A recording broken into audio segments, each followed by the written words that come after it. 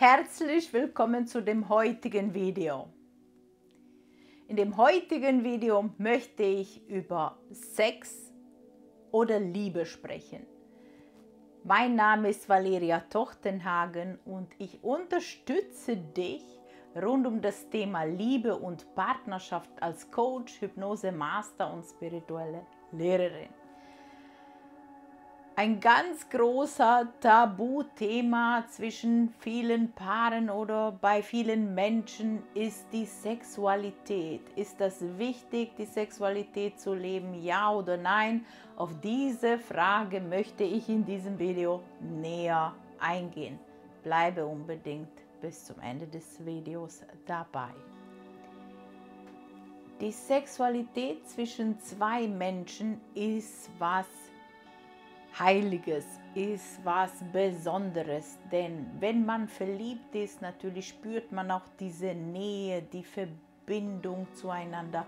Man lässt sich aufeinander ein. Und eine Sexualität sollte niemals oberflächlich sein.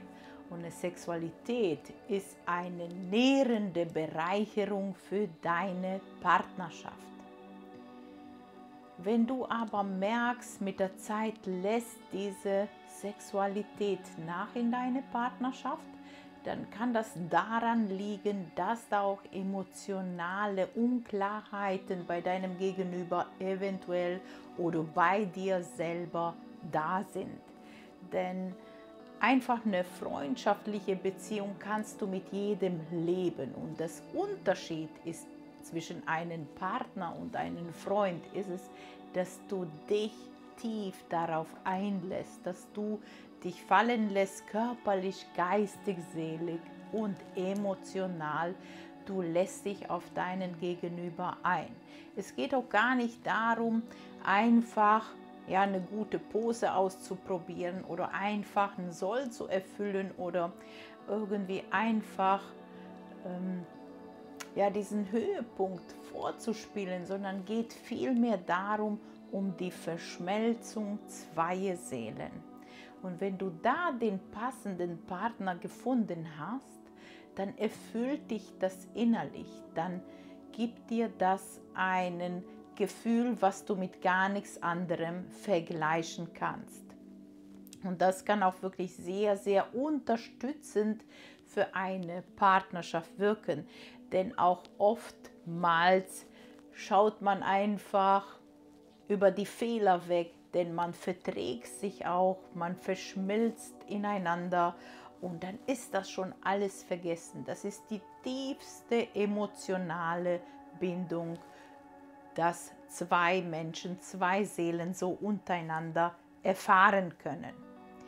Und es geht auch gar nicht darum, diese Ekstase so zu erleben, sondern es liegt wirklich daran, dass man auch mit sich selber in Verbindung geht, über deinen Partner. Durch deinen Partner lernst du dich auch besser kennen, was du fühlen kannst und wie tief du dich auch darauf einlassen kannst. Es geht um die Erfüllung, es geht um Herz, es geht niemals um etwas Oberflächliches. Denn Menschen, die diese oberflächliche Verbindung suchen, die werden niemals diese emotionale Tiefe erfahren. Und es fehlt das Knistern, es fehlt das Feuer, es fehl, fehlt das Herz dabei. Und äh, wenn man miteinander in der Verbindung geht, dann kann man das auch wirklich fühlen und auch wahrnehmen. Und wenn das bei dir vielleicht anfängt, dass du sagst, ich kann nicht mehr mit meinem Partner vielleicht intim werden, dann könnte das daran liegen, dass dein Körper dir bestimmte Signale sendet, dass da auch eine emotionale Blockade bereits vorhanden ist. Und äh, es geht wirklich darum, dass du einen inneren Widerstand spürst Vielleicht entsteht dieser innere Widerstand auch durch Verletzungen, durch Kränkungen, die du nicht verarbeitet hast oder du hast erfahren, dass dein Partner sich nicht hundertprozentig bei dir ist, emotional, mental. Und dadurch fühlt sich das nicht mehr gut an und du beginnst dich einfach zurückzuziehen, denn das macht dir keinen Spaß mehr. Du merkst, da ist kein 100% mehr dabei. Und da entsteht aus dieser Entscha Enttäuschung diese Trennung zwischen euch zwei.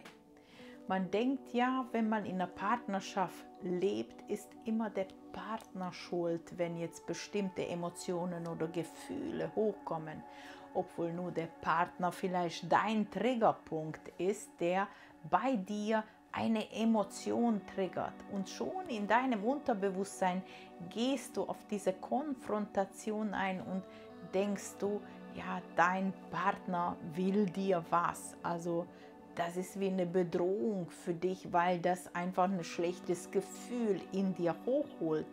Und so kommen dann diese Gefühle hoch, die auch nicht gelebt werden wollen. Das kann jetzt zum Beispiel nicht attraktiv genug zu sein, nicht begehrenswert zu sein, nicht wichtig zu sein, nicht liebenswert zu sein. Also diese Schmerz will man auf keinen Fall haben.